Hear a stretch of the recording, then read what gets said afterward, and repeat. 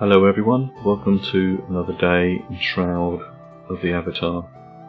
Now today we're in game with King Dragon Slayer and it's now the release of R46 so I thought I would look at the rewards because this release is rather a big one to just do one video on because there's been a lot of things going on, things with farming, scenes unlocked so I thought I would segregate them down and first of all I thought we would have a look at what rewards we received from previous telethons that we might have taken part in or what things you can get if you partake in the telethons which you only have to spend $5 and once the stretch goals are reached we then get those rewards for that particular telethon which another one is coming up in about a week.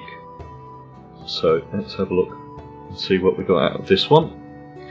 Now I've moved a remote bank device up here just to make it a little bit simpler. I did get quite a lot out of this one. So I just have to open up a bank. Now you can do this at any of the banks as well, so you don't have to have one of these devices. This device just makes it easier.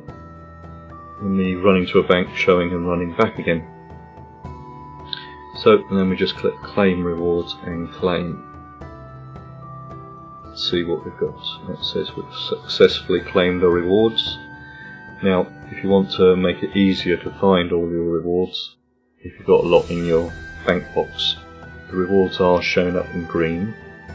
What you can do is just select rewards and then the rewards will remain green until they are claimed so you know what new items you've actually got. Now in here we've got the decoration pet, which came from the Lord British's birthday bash.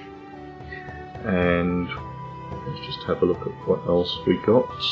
We've got the flame armour, which is the just get everything organised there.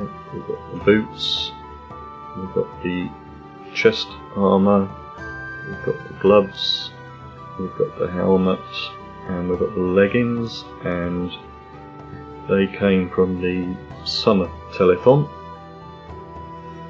And then of course we have all of the oracle stuff which came out of the R44 telethon. So we'll claim all of those and then we can have a look at them. So I've actually placed some out from another account over here just to make it a little bit quicker. I was wondering. Uh, I'll have to. Claimed them already, so what I'll do is I will swap that one out so we can claim our sparklers. So we get 50 Oracle sparklers and it will replenish at some point. I don't know what the frequency on that is, but um, that's one of the rewards. And of course, we've got the throne, similar to the other thrones in the game, except it's got the nice metal wire mesh design to it. And then we also got, of course, the mirror. So it actually gaze into the oracle eye. Nice red, amber, glowing red, glowing mirror there. Everything's got this glowing pattern to it. And then, of course, just that round. We've got the armour set. So let's just take off our thingies and we'll put on the flame armor so we can see what that looks like.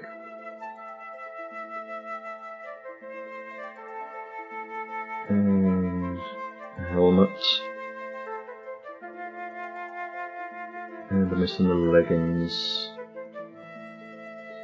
So there we go. Come out of that. Nice armour there, the flame armour set, so actually uh, use the doll up the top as well. And then the other items we got was the Oracle Eye hood, which gives you a glowing eye in a hood design and then some cable wings which goes in as a backpack or takes the backpack slot gives you your oracle wings. As I say, all of these things were from various telethons and we just had to give five dollars and when the stretch goals were met we actually got these rewards. So um, that's not bad for your five dollars. See oh yes. I've got the pet broom so there we go. Pet broom we just put it out. Now you can well that's placed. Right and take and use the item. Right if we double click on the item that will come out as a as a pet. It says confidently yep.